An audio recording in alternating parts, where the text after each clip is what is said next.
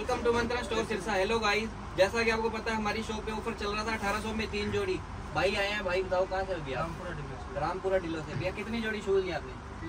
तीन जोड़ी। कितने ही मिले भैया आपको? अठारह सौ। में तीन जोड़ी आपको शूज़ मिल जाएँगे। भैया मंत्रण स्टोर सिरसा पे विज़िट करो जल्दी से जल्दी।